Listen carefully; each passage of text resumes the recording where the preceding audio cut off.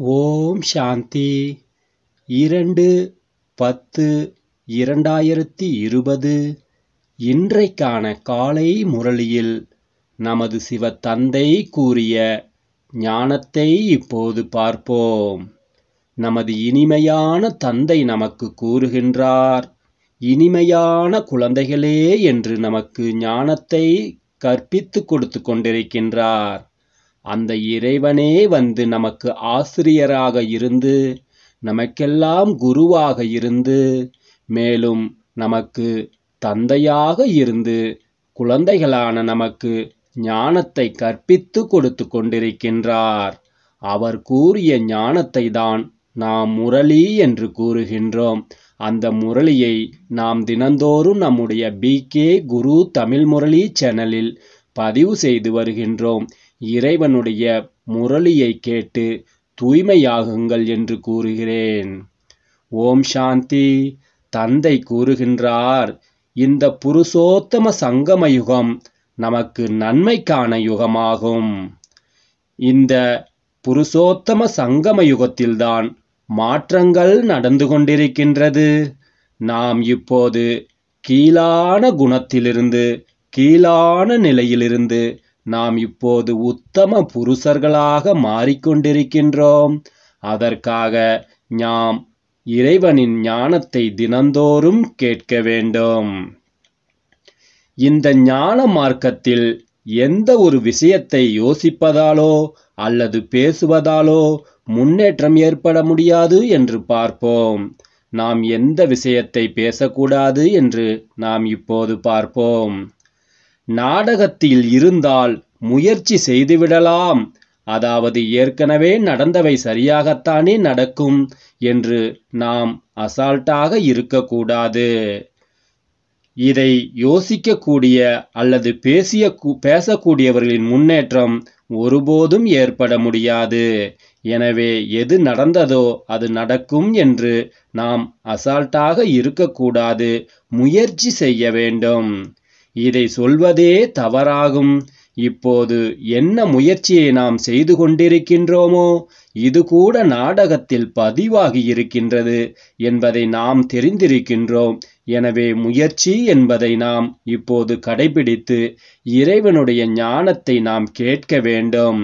உதாசீனப்படுத்தி கொண்டு நாம் நமக்கே தீங்கிழைத்து கொள்ளக்கூடாது. கிடைக்கும் வாய்ப்பை நாம் சரியாக பயன்படுத்தி கொள்ள வேண்டும்.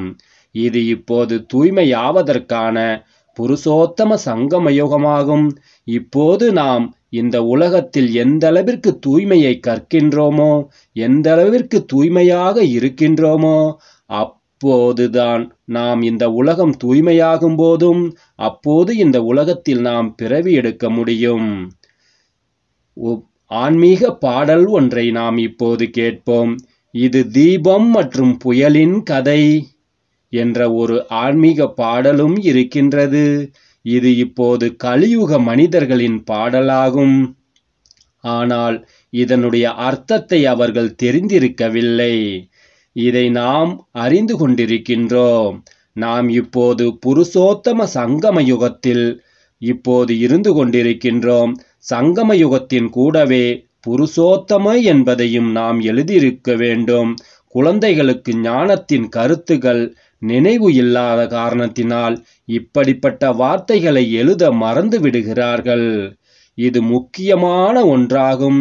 அதாவது சங்கம யுகத்திலும் இது புருஷோத்தம சங்கம யுகமாகும் இதனுடைய அர்த்தத்தை நாம் இப்போது புரிந்து கொள்ள இயலுகின்றது. புருஷோத்தம மாதம் கூட இருக்கின்றதல்லவா? இது புருஷோத்தம சங்கம யுகமாகும் இந்த இந்த சங்கம யுகத்தின் பண்டிகை கூட ஒன்று இருக்கின்றது. இந்த பண்டிகை அனைத்திலுமே உயர்ந்ததிலும் உயர்ந்ததாகும். நாம் இப்போது புருஷோத்தமர்களாக தூய்மையானவர்களாக ஆகிக் கொண்டிருக்கின்றோம் என்பதை நாம் தெரிந்திருக்கின்றோம்.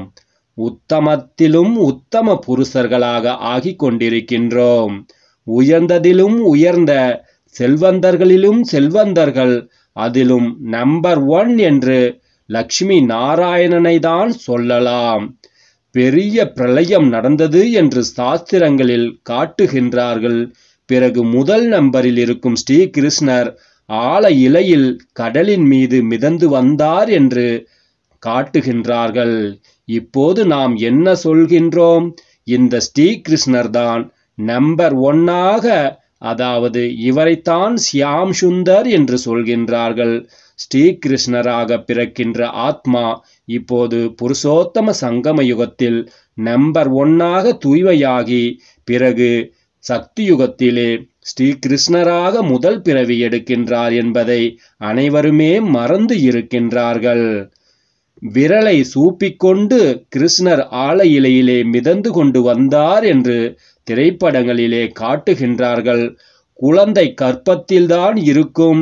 எனவே முதன் முதலில் ஞான கடலிலிருந்து வந்த உத்தமத்திலும் உத்தம புருஷர் ஸ்ரீகிருஷ்ணர் ஆவார். ஞான கடலின் மூலம் சொர்க்கத்தின் ஸ்தாபனை நடக்கின்றது.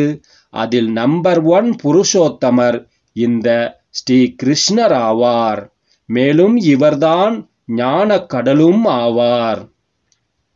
தண்ணீரின் கடல் அல்ல பிரளயமும் எதுவும் நடப்பதில்லை. நிறைய புதிய குழந்தைகள் வரும்போது பாபா பழைய ஞான கருத்துக்களை திறம் திரும்ப திரும்ப சொல்ல வேண்டியிருக்கின்றது.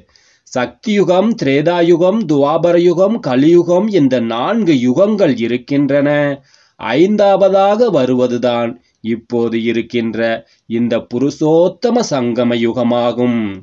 இந்த புருஷோத்தம சங்கம யுகத்திலே மனிதர்கள் இப்போது மாற்றம் ஆகிக் கொண்டிருக்கின்றார்கள்.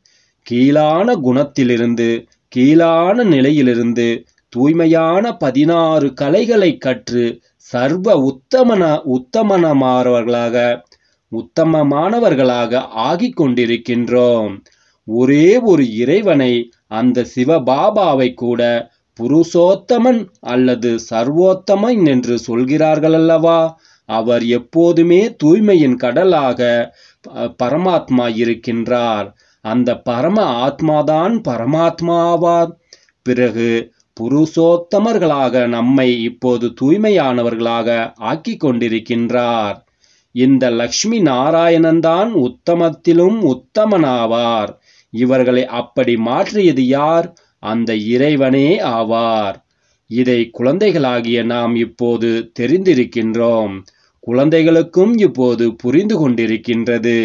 இந்த நேரத்தில் நாம் தூய்மையாவதற்காக நாம் முயற்சியை செய்து கொண்டிருக்கின்றோம். முயற்சி ஒன்றும் பெரிய விஷயமில்லை கடினமானதும் இல்லை மிகவும் சுலபமானதாகும்.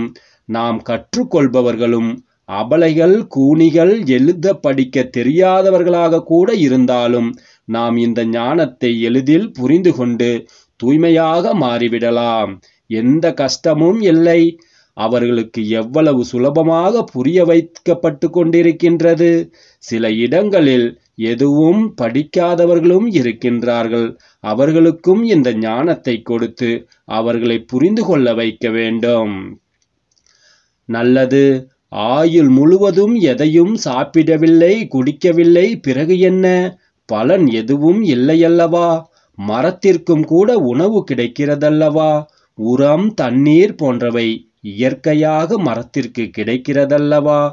அதன் மூலம் மரம் வளருகின்றது. அவர் கூட ஏதாவது சித்திகளை அடைந்திருப்பார். இதுபோல் நிறைய பேர் நெருப்பில் தண்ணீரின் மேல் நடப்பார்கள் இருக்கிறார்கள். இதனால் என்ன பலன் கிடைக்கப் போகிறது? நமக்கு இந்த சகஜ ராஜயோகத்தின் மூலம் பிறவி பிறவிகளுக்கும் நன்மை கிடைக்கப் போகின்றது. நம்மை பிறவி பிறவிகளுக்கும் துக்கமுடையவர்களிலிருந்து சுகமுடையவர்களாக ஆக்கிவிடுகிறது. பாபாவே வந்து இந்த இறைவனே வந்து கூறுகின்றார். குழந்தைகளே நாடக திட்டத்தின்படி நான் உங்களுக்கு ஆழமான விஷயங்களை இப்போது மூன்று கால ஞானத்தை இப்போது சொல்லிக் கொடுத்து கொண்டிருக்கின்றேன் என்று கூறுகின்றார்.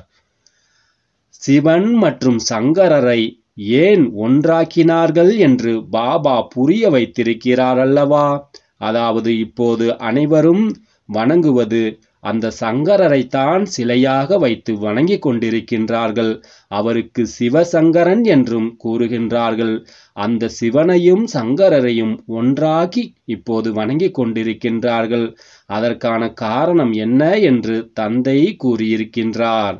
சங்கரருக்கு இந்த சிருஷ்டியில் நடிப்பே இல்லை. சிவனுக்கும் பிரம்மாவிற்கும் விஷ்ணுவிற்கும் தான் நடிப்பு இருக்கிறது.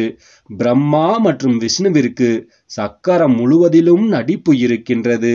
சிவபாபாவிற்கு கூட இந்த சமயத்தில்தான் நமக்கு இந்த ஞானத்தை சொல்லித்தரும் நடிப்பு இருக்கின்றது. அவர் இந்த பிரம்மா உடலிலே பிரவேசம் செய்து அவர் மூலமாக நமக்கு இந்த ஞானத்தை கொடுத்து புதிய யுகத்தை படைத்து கொண்டிருக்கின்றார். பிறகு நாம் அனைவருமே தூய்மையாகி நிர்வாண தாமத்திற்கு அனைத்து சகோதர உலக ஆத்மாக்களும் நாம் சென்று விடுகின்றோம். குழந்தைகளுக்கு சொத்தை கொடுத்துவிட்டு அவர் வானப்பிரஸ்தத்தில் சென்று விடுகின்றார். வானப்பிரஸ்திகளாக ஆவது என்றால் குருவின் மூலம் சப்தங்களை கடந்து செல்வதற்கான முயற்சி செய்வதாகும். ஆனால் யாருமே திரும்பி செல்ல முடியாது. ஏனென்றால் நாம் இப்போது விகாரிகளாக கீழானவர்களாக இருக்கிறார்கள். அனைவருக்கும் விகாரத்தின் மூலமாகத்தான் இப்போது பிறவி கிடைக்கின்றது. யாருமே இந்த கலியுகத்தில் தூய்மையாக பிறப்பது கிடையாது. அனைவருமே காம விகாரத்தின் மூலமாகத்தான் பிறவி கிடை கிடைத்திருக்கின்றது. இந்த லக்ஷ்மி நாராயணன் தான் நிர்விகாரிகளாக பிறந்தவர்களாவார்கள். அவர்களுடைய பிறவி விகாரத்தின் மூலமாக நடப்பதில்லை. அவர்கள் சக்தியுகத்திலே அவர்கள் தூய்மையாக பிறக்கிறார்கள். ஆகையால்தான் அவர்கள் இன்றளவும் உயர்ந்தவர்களாக பூஜிக்கப்படுகிறார்கள். குமாரிகள் கூட நிர்விகாரிகளாக இருக்கிறார்கள். ஆகையினால் அவருக்கு முன்னால் தலை வணங்குகிறார்கள். எனவே பாபாவே வன வந்து நமக்கு புரிய வைத்து கொண்டிருக்கின்றார். இங்கே சங்கரருக்கு எந்த நடிப்புமே இல்லை. மற்றபடி பிரஜாபிதா பிரம்மா என்றால் கண்டிப்பாக பிரஜைகளுக்கு தந்தையாகின்றார் அல்லவா? சிவபாபாவை ஆத்மாக்களின் தந்தை என்று சொல்லலாம். அவர் அழிவற்ற தந்தையாவார். இந்த ஆழமான விஷயங்கள் நல்ல விதத்தில் நாம் தாரணை செய்ய வேண்டும். பெரிய பெரிய தத்துவ ஞானிகள் கூட இருக்கின்றார்கள் என்றால் அவர்களுக்கும் நிறைய பட்டங்கள் பதவிகள் பரிசுகள் கிடைத்திருக்கின்றன. ஸ்ரீ ஸ்ரீ நூத்தி எட்டு என்ற பட்டம் கூட வித்வான்களுக்கு கிடைக்கிறது. பனாரஸ் கல்லூரியில் தேர்ச்சி பெற்று பட்டங்கள் வாங்கி வருகிறார்கள். பாபாவினுடைய பட்டத்தை தங்களுக்கு வைத்து கொண்டிருக்கின்றார்கள் என்று அவர்களுக்கு புரிய வையுங்கள். என்றும் தான் குப்தா அதாவது குப்தாஜியை பனாரஸிற்கு பாபா அனுப்பி வைத்துள்ளார். பாபாவை ஸ்ரீ ஸ்ரீ நூத்தி எட்டு ஜகத்குரு என்று சொல்லப்படுகிறது. நூத்தி எட்டு மணி மாலைதான் உயர்ந்ததிலும் உயர்ந்ததாக இருக்கின்றது. அதிலும் எட்டு ரத்தினங்கள் தான் புகழ் பாடப்படுகின்றது. அந்த முதல் எட்டில் நாம் வர வேண்டும் இல்லையென்றாலும் நூத்தி எட்டில் இல்லையென்றால் பதினாறாயிரத்தி நூத்தி எட்டு மணிமாலைகளில் நாம் வந்துவிட வேண்டும். மதிப்புடன் தேர்ச்சி பெற வேண்டும். ஆகையினால்தான் அவர்களை இன்றளவும் எல்லோரும் மணிகளாக கையில் ஜெபித்து கொண்டிருக்கின்றார்கள். பிறகு அதிலிருந்து கொஞ்சம் குறைந்து நூத்தி எட்டு பூஜை செய்கின்றார்கள் யக்கியங்களை உருவாக்குகின்றார்கள். அந்த நூத்தி எட்டு மணிமாலைகளில் நாம் ஒருவராக நாம் தூய்மையாக வேண்டும். சிலர் ஆயிரம் சாலிகிராமங்களை உருவாக்குகிறார்கள் சிலர் பத்தாயிரம் சிலர் ஐம்பதாயிரம் சிலர் லட்சம் கூட சாலிகிராமங்களை உருவாக்குகிறார்கள். மண்ணால் உருவாக்கி பிறகு யக்கியத்தை வளர்க்கிறார்கள். அதில் யக்கியம் செய்து யாகம் செய்து பிறகு அந்த வேள்வியை கலைத்து விடுகிறார்கள். எப்படி நல்லதிலும் நல்ல பெரிய சேட்டாக இருந்தார் என்றால் வசதியாக இருந்தார் என்றால் லட்சம் சாலிகிராமங்களை உருவாக்கி பூஜை செய்கிறார்கள். பதினாறாயிரத்தி நூத்தி எட்டு மணிமாலையை பெரியதாக உருவாக்குகிறார்கள். மாலை மிகவும் பெரியது என்று பாபா புரிய வைத்திருக்கின்றார். நாம் இப்போது அனைவருமே பாபாவோடு பாரதத்தில் சேவை செய்து கொண்டிருக்கின்றோம். பாபாவின் பூஜை இப்போது நடக்கிறது என்றால் குழந்தைகளுக்கும் பூஜை நடக்க வேண்டும். ருத்ர பூஜை ஏன் நடக்கிறது என்பதை யாருமே தெரிந்திருக்கவில்லை. அந்த ருத்ரனான சிவனே இப்போது இந்த உலகத்தை தூய்மையாக்குவதற்காக இந்த யுத்ர ஞான இயக்கியத்தை இப்போது படைத்து வளர்த்து கொண்டிருக்கின்றார். குழந்தைகள் அனைவருமே சிவபாபாவினுடையவர்கள் ஆவர் இந்த சமயத்தில்தான் உலகத்தில் எவ்வளவு மக்கள் தொகை இருக்கின்றது? இதில் அனைத்து ஆத்மாக்களுமே சிவபாபாவின் குழந்தைகள் அல்லவா? ஆனால் அனைவரும் உதவியாளர்களாக இருப்பதில்லை. இந்த சமயத்தில் நாம் எந்த அளவிற்கு தந்தையை நினைவு செய்கின்றோமோ அந்த அளவிற்கு நாம் உயர்ந்தவர்களாக ஆகிக் கொண்டிருக்கின்றோம். பூஜைக்கு தகுதியானவர்களாக ஆகிக் கொண்டிருக்கின்றோம். இந்த விஷயத்தை புரிய வைக்கும் அளவிற்கு சக்தி இந்த உலகத்தில் வேறு யாரிடத்திலும் இல்லை. தந்தை ஒருவரை தவிர இவற்றை யாருமே அறியாதவர்களாக இருக்கின்றார்கள். ஆகையினால் ஈஸ்வரனுடைய முடிவை முழுமையாக யாருமே தெரிந்திருக்கவில்லை என்று சொல்லிவிடுகிறார்கள். பாபாதான் வந்து நமக்கு இதனை புரிய வைக்கின்றார். அந்த பாபாவைத்தான் அந்த பாபாவான இறைவனைத்தான் நாம் ஞானக்கடல் என்று சொல்லப்படுகின்றது. என்றால் கண்டிப்பாக ஞானத்தை கொடுப்பவர் அவர் ஒருவர்தானே. தூண்டுதலின் விஷயமே இல்லை. பகவான் யாருக்கும் தூண்டுதல் மூலமாக புரிய வைக்கின்றாரா என்ன? அவரும் உலகத்தின் முதல் இடை கடைசியின் ஞானம் அவரிடம் மட்டுமே இருக்கின்றது என்பதை நாம் தெரிந்திருக்கின்றோம்.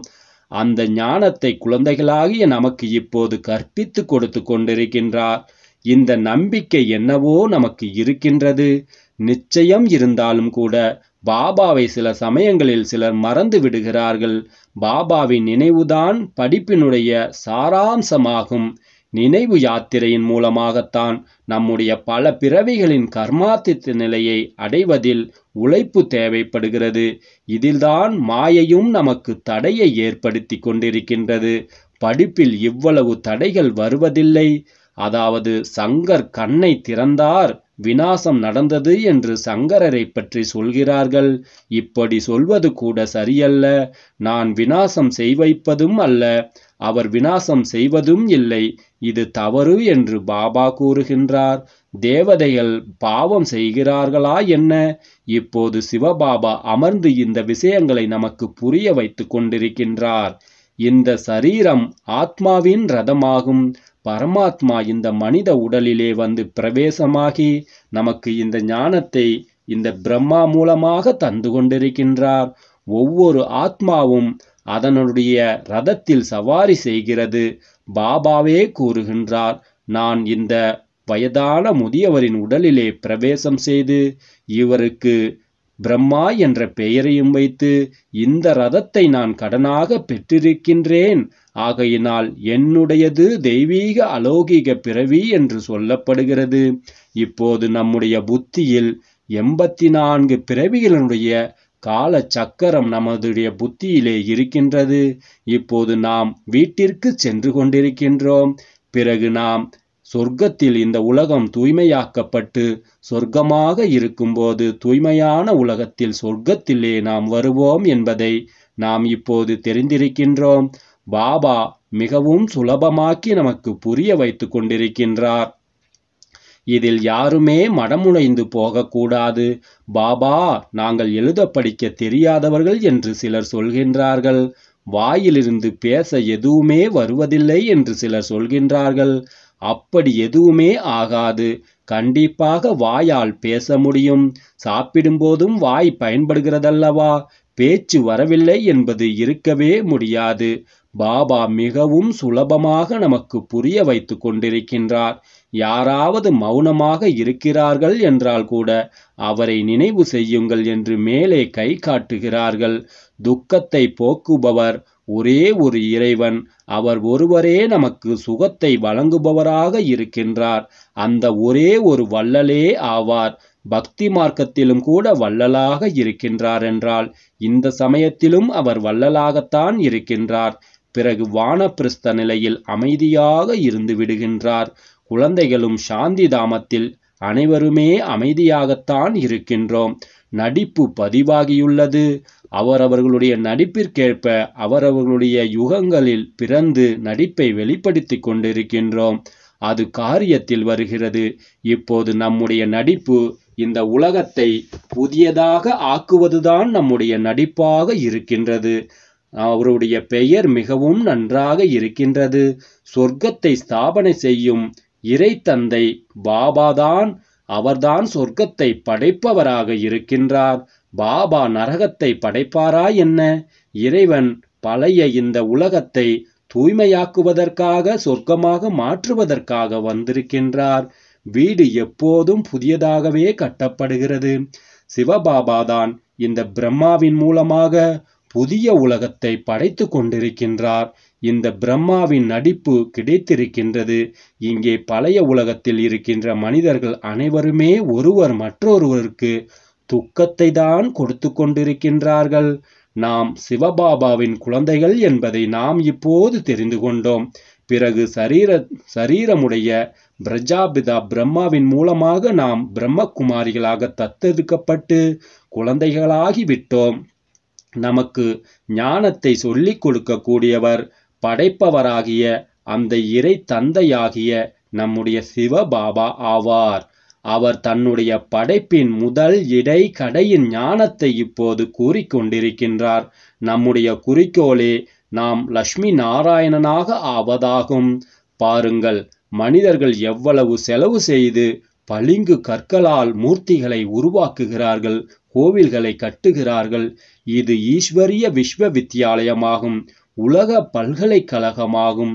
இது ராஜயோகம் நம்மையெல்லாம் ராஜாவுக்கெல்லாம் ராஜாவாக ஆக்குகின்ற யோகமாகும்.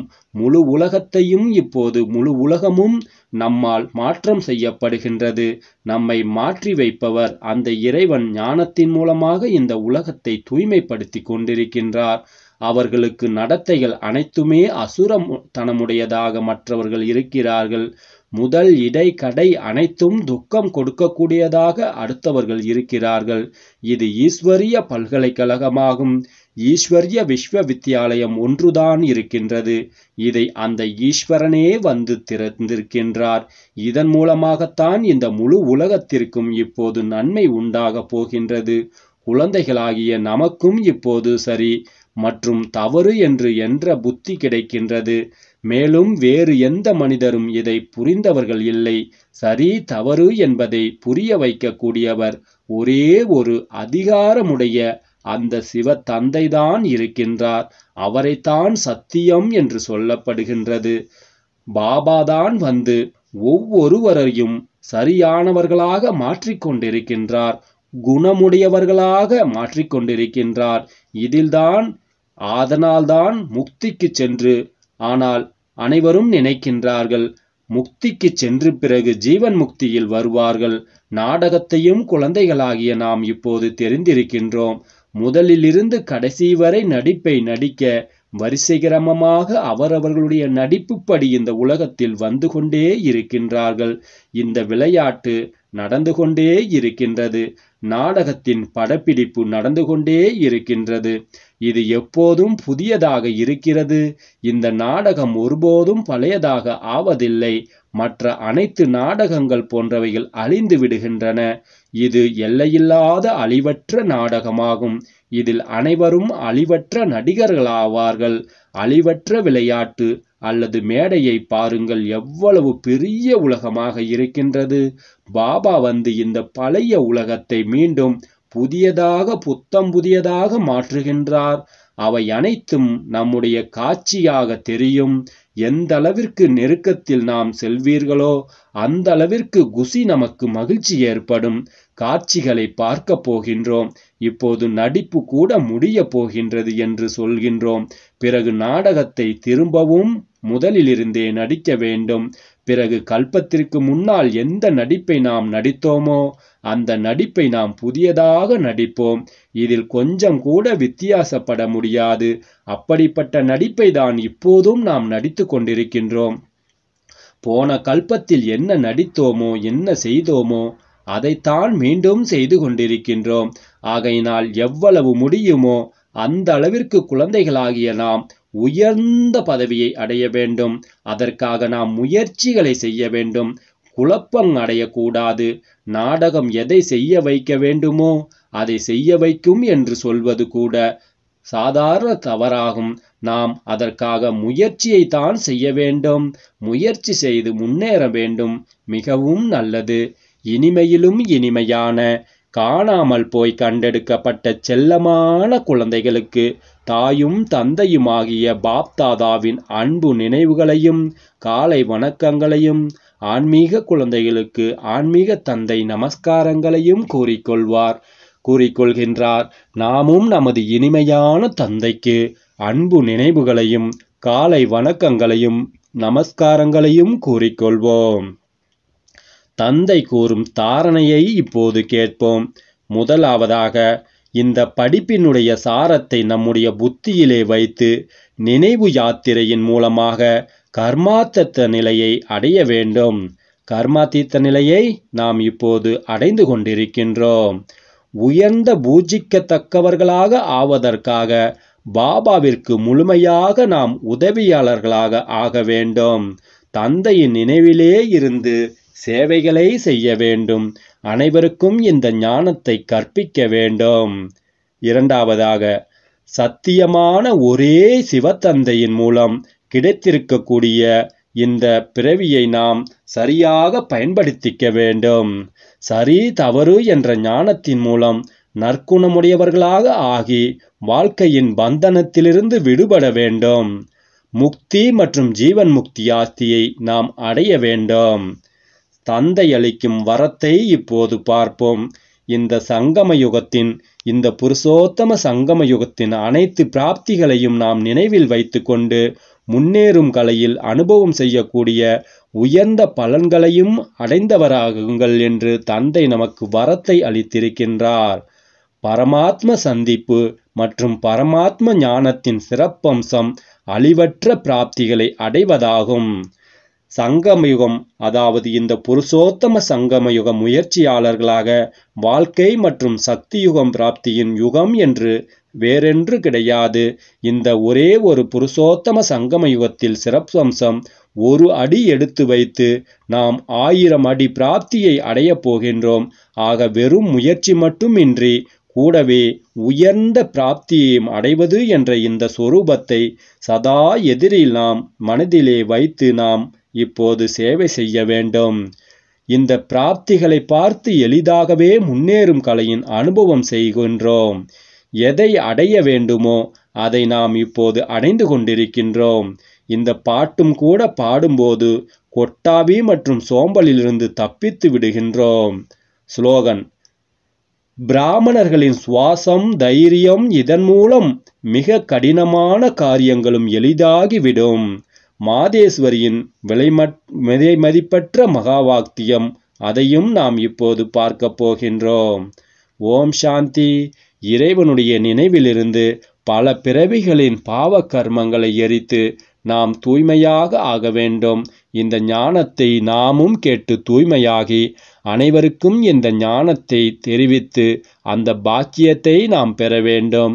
ஓம் சாந்தி. நமது சேனலை லைக் செய்து தினந்தோறும் நம்முடைய பிகே குரு தமிழ் முறையில் ஒளி ஒளிபரப்பப்படும் இந்த இறைவனுடைய ஞானத்தை கேளுங்கள். ஓம் சாந்தி. ஓம் சாந்தி.